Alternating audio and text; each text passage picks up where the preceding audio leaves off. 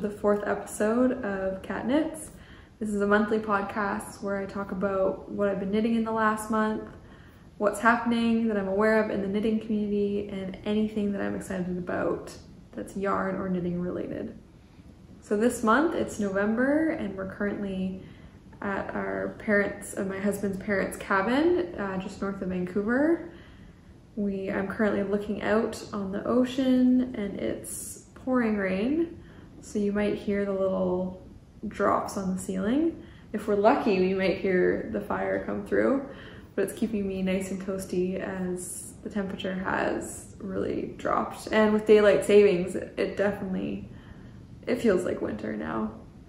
I'm very excited because this is actually my first episode where I'm wearing my own uh, hand knit garment. So this is the second sweater I've ever finished. Uh, unfortunately, it was just Halloween and I dyed my hair green. So I look like the Joker right now. So you can't really get the full picture of what this looks like. But uh, as you can see, I'll do a little demo. So you can see there is still that lip in the front that I've been talking about that I've been concerned about.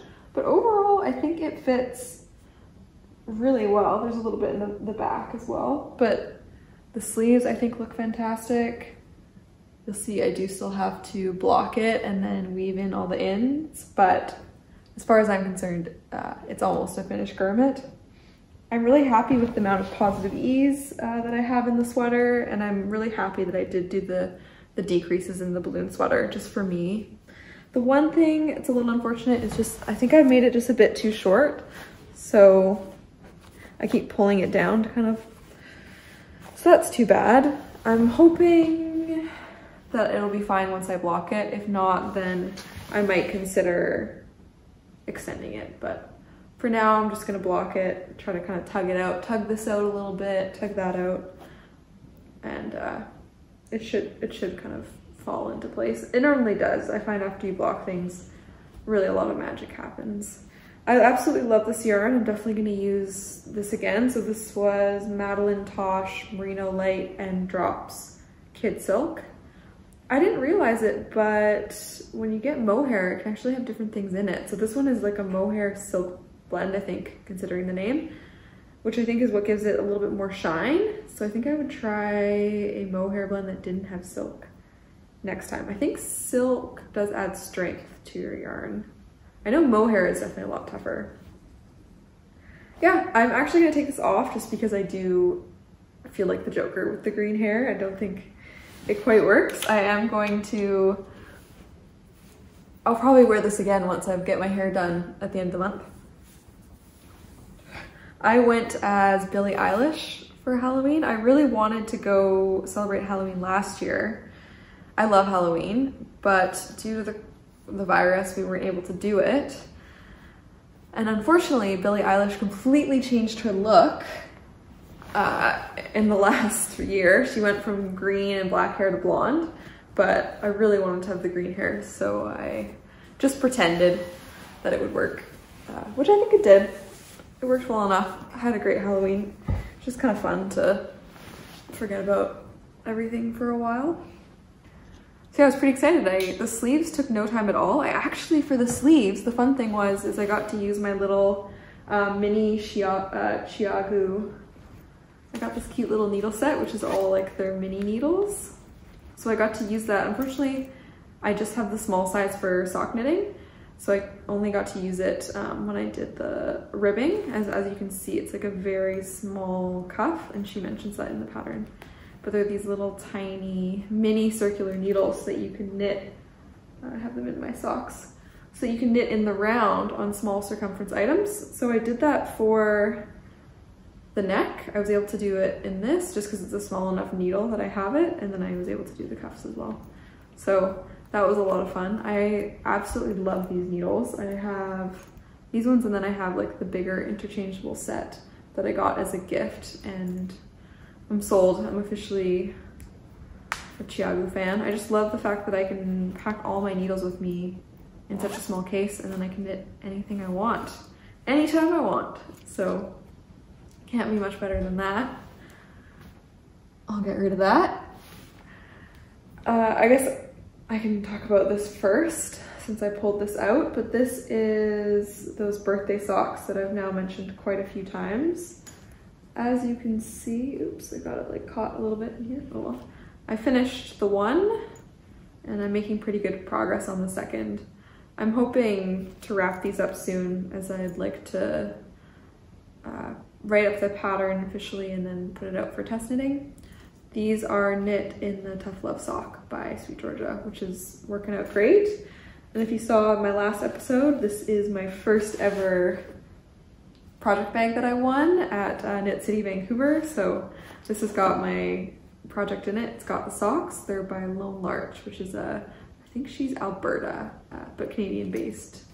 And it's just working out great. I just love how contained it is and I just don't have to even oh. worry about it.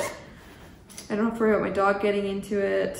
I can pack it in my suitcase without getting tangled and everything. So that's been a lot of fun. And the other big thing, which you probably can see taking up almost the entire table, is my knit collage kit arrived for the fall knit along. So it actually arrived last Friday, which is about almost four weeks since I ordered it. As a Canadian, I did have to pay additional duties on it, which uh, something to keep in mind. But I am just so excited, so excited. Uh, the yarn is much softer than I was expecting. So that this is cloud spun, which is wool. And as you can see, I got, this will be the main color of my cardigan. And then I got this white, which is, oopsies, which is uh, one of the contrast colors. And then there's this kind of taupey brown, that's the other one. It's so funny. So I wound up these balls and as you can see, they're just huge. The yarn is bulky, so it just makes for a dramatic, they can't fit in this tiny little bag, which makes sense. But yeah, it's just been so much fun to knit with. It was so much fun to open it up too. I just felt like a little kid on Christmas. So I ended up finishing the swatch over the weekend. This is the first time I purposely was knitting it fairly loose and this is the first time that I have officially been way too loose of a knitter. I have yet to meet gauge, so I wasn't expecting to meet gauge, but I wasn't expecting to be this far off. I'm actually going to take another stab at it and re-knit it, just because I am, like, I think I, I want to say like I only have like two thirds of the amount of stitches I need, which is really far off. I don't want to be that far off. With this swatch, I actually knit it in the round, which is another first for me. And the idea behind this is that uh, people will knit in a different uh, strength than they will purl in. So what you do is you do your entire stitch only by knitting and then you carry your yarns. This would almost be like the back of the loop, like if you're doing it in the round, so you carry your yarn across and that way you're only ever knitting. And typically what you might do is you might actually go ahead and like cut down all of these so that you can really lay your swatch flat, but I wouldn't recommend doing this, and Amy talks about this as well. Don't cut it until you're absolutely happy with your swatch because you might wanna rip it out, like I'm going to, and re-knit it. And it would just be a shame to not be able to reuse the yarn. The fun thing about the sweater is it is steeked, and uh, Amy from Knit Collage has designed it so that you can practice steeking on your swatch. So I'm, I am gonna do that once I get a swatch I'm happy with I'm gonna wait until I do the real steek to do the practice steek just so I can, it's kind of all fresh in my mind about the things that I don't like about it. But yeah, I'm super happy with the colors of the yarn, the feel of the yarn, the way it's knitting up. I think it's just gonna be a fun sweater and it's gonna be like nothing I've ever knit before. We're in week two of the knit along, so I'm a little behind. I've been attending the Zoom calls with the other knitters and Amy and watching the videos and oh my goodness, the amount of work they put into the knit collage is huge. There's, I think I've watched maybe nine or eight videos just for week one for tips on how to kind of get started picking your size, making your swatch. And then they have, I've attended uh, two Zooms so far, but they've had way more than that. One particularly for questions on the sweater that I'm knitting. They also provide, I think you can sign up for half an hour help every week, one-on-one -on -one if you have a question. I'd say if you haven't knit before, they really just go over and above and beyond with helping you feel excited and feel ready to knit a sweater. And how fun is the yarn? So overall, great experience so far, would recommend it.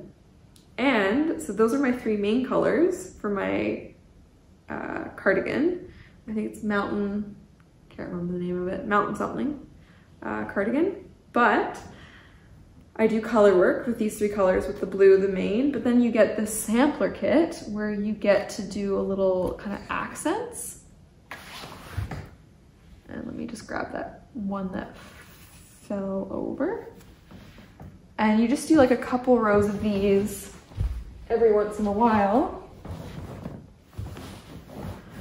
And one of them is actually fabric, which will be another first for me. So her designs incorporate that.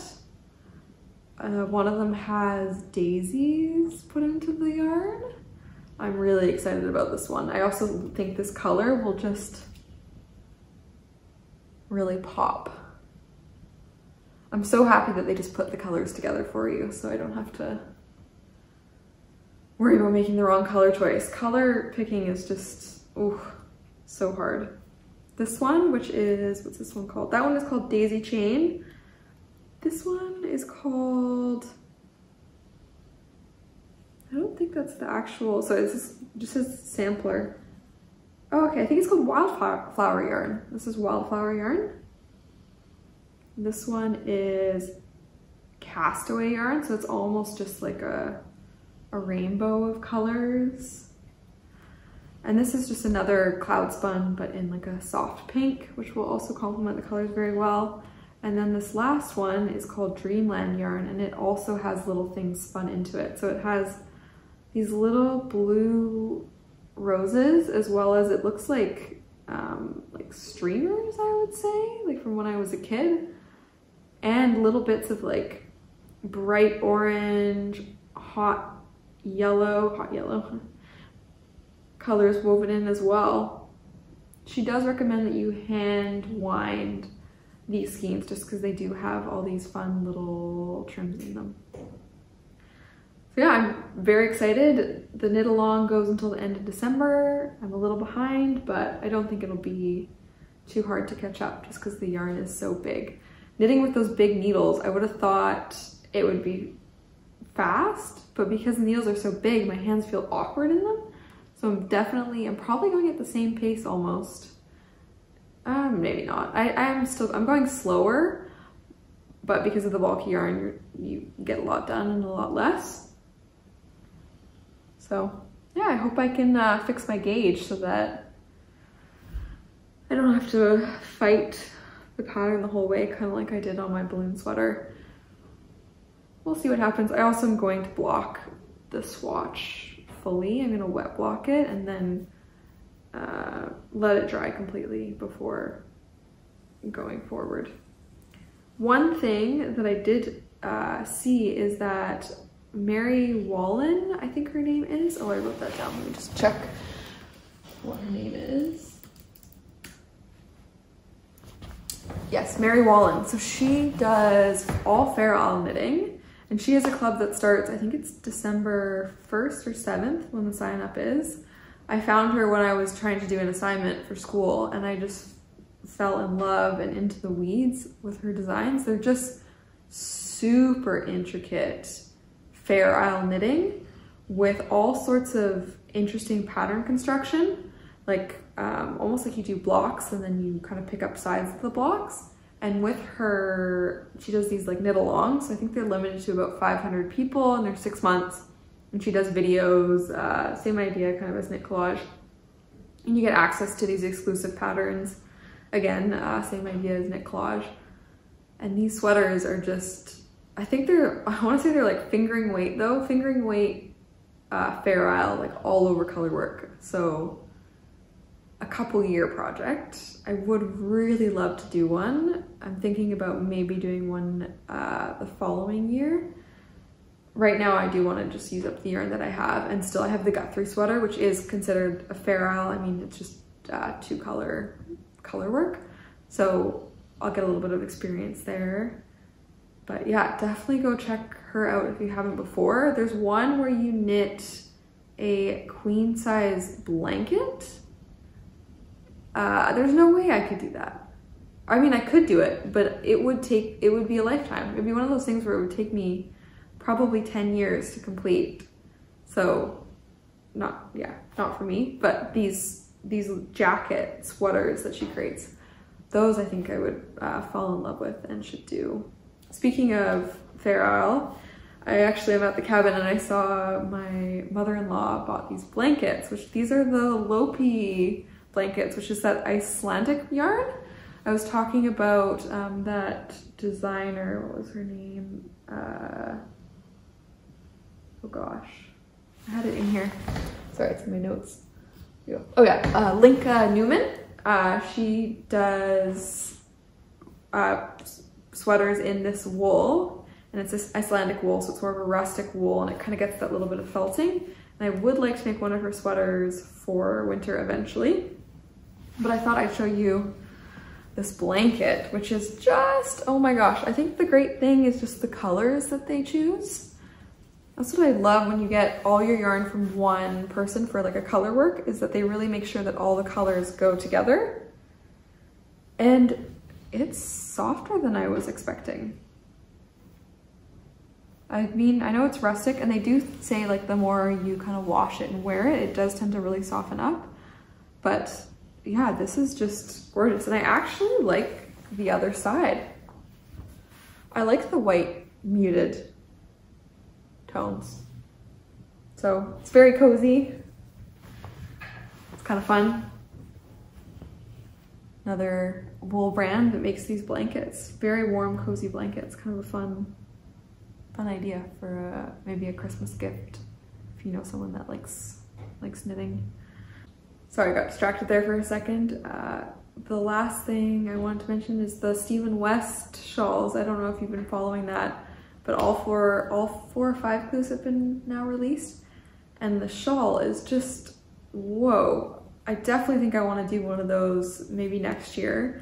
It has baubles, it has brioche, it's got all these techniques in it. I think that's what I love most about the shawl is it's just packed with different techniques, which I haven't done before. I'm not, I don't wear shawls. I 100% won't wear the shawl unless it's maybe for like a costume or something like that. But I'd love to knit one just to really kind of see how the construction goes. And maybe, maybe I would eventually fall in love with shawls if I did that. But yeah, definitely go check that out. And it makes me want to do one of Stephen West's knit alongs just because they're so much fun. And it's kind of cool how you only get a portion of it every week. So it's also, it's a mystery knit along, which I think you can kind of only do with a shawl. I was thinking if you could maybe do that with a sweater somehow. I think you could a bit, like maybe with the way you're doing the color work. Anyways, I was thinking maybe at some point in my future, I'd love to host a mystery knit along and just since I'm not a huge fan of wearing shawls, maybe I would do a sweater. But definitely something to check out if you haven't already. And the other thing I wanted to mention is there's this brand called Sweet Nesting. I just saw she did a post on Stephen West's um, knit along, but it's this hand-dyed yarn. She does hand yarn, I think it's only custom orders and her color choices are just unbelievable. She does like a lot of, I'd say very, she does more fun colors, so bright, um, and you send her what pattern you're hoping to make, and then she'll custom dye these sets, and she does these magnificent fades that um, I would almost say like maybe are like 15 skeins long. So definitely go check her out, follow her just for a little bit of color fun in your life but yeah, I think now, you know, we're getting into the month of November and the beginning of December. So I'm starting to think a bit about what I'm gonna knit for Christmas gifts. I didn't do any hand knit items last year. I was hoping to get some socks done this year, but I've only got six weeks, which is not, it's not looking good. I do, last year I made uh, two cosmetics bags so I think I'm going to do that again this year, is make some cosmetic bags for friends. I wish I could do some gift knitting, but I think with this knit collage, finishing up the sock, and I think it's just gonna be too much. So I hope everyone is doing well, enjoying the fall wherever you are, and maybe getting a chance to think about and start that gift knitting for other people. I always love um, when someone gives me something handmade, which is why I've tried to really give away knitting. It is, I, you know, there's two sides to it. I gave away almost everything I knit for the last couple years and now I'm trying to really uh, make some stuff for myself just because it is it is nice to wear but I think there's so much joy that you can give someone when you knit them something handmade so yeah fun things to think about and I'll see you all in December which is the last month of 2021 I just I can't get my head around that so hope you have a great rest of your day or evening wherever you are and see you in a month thank you